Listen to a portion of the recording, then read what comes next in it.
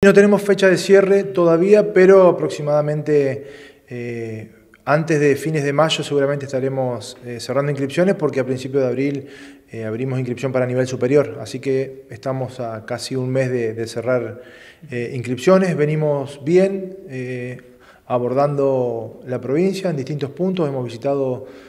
más de 10 departamentos ya, más de 26 localidades. Estamos en un 25% más de, de, inscriptos al año anterior, a esta fecha. Así que bueno, trabajando, trabajando fuerte en eso, siguiendo la línea de, poder acercar las herramientas del organismo, del gobierno provincial a los estudiantes, así que con mucho trabajo. Algo fundamental también son los talleres de orientación vocacional. Sí, también un programa eh, demandado que tuvimos la oportunidad de, lanzarlo en Galarza, departamento de Gualeguay, hace un par de semanas atrás. Este año incorporamos una nueva modalidad que a la charla que generalmente se lleva adelante desde el taller, desde el programa, perdón, le incorporamos el taller para grupos más mm. reducidos, donde nos parece mucho más personalizada la llegada del programa. De hecho, hemos eh, obtenido distintos eh, distintas palabras de distintos estudiantes en que ha sido enriquecedor el, programa con esta modalidad eh, y por ahí le ha, servido para poder ver eh, otras cuestiones a futuro o tomar otras decisiones para qué seguir estudiando. Así que bueno, contento con, las actividades que tenemos, también comenzamos con Educando el Movimiento, que es nuestro ah. programa de apoyo escolar que, también replicamos en toda la provincia, ya llevamos abierto casi 80 centros, eh, así que bueno, trabajando, estando presente en el territorio eh, y fundamentalmente marcando lo que vos decís, que por ahí, eh, más que nada en, el, tema de becas, en nuestros abordajes orientamos a que toda la persona que no puede hacerlo a través de la virtualidad, no tiene las herramientas o no puede, o no puede hacerlo por diferentes motivos, estamos llegando con, con el equipo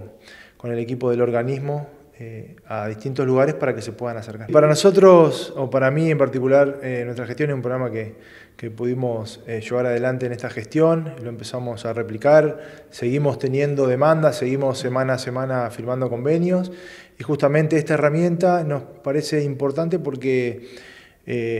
Vemos a diario eh, las posibilidades de los estudiantes, más que nada de nivel superior, avanzados, próximos a recibirse, en cuanto a sus currículum, que no han tenido la posibilidad de poder desarrollar todos sus conocimientos en, el área específica de la cual eh, se han estado formando. Con este programa y a través de la demanda del sector privado, de las empresas o, o, de quien solicite tal característica de estudiantes, podemos acercarle a los mismos la posibilidad de que puedan volcar sus conocimientos académicos en el campo propio laboral de alguna empresa. Es una especie de pasantía, ¿no? Es una especie de pasantía que, como bien dijiste al inicio de la pregunta, eh, es un círculo virtuoso que nos beneficia a todos. Nosotros como Estado, seguir brindándole oportunidades a los estudiantes, a las empresas poder captar estudiantes avanzados que le agreguen valor a su empresa con su conocimiento académico y para los estudiantes propios, más allá del extipendio de, su beca con contraprestación de servicio, sabemos que también es importante para su currículum tener una experiencia previa comprobable laboral, a, previa a ser profesionales. En muchos casos, de hecho mañana estamos yendo a Concordia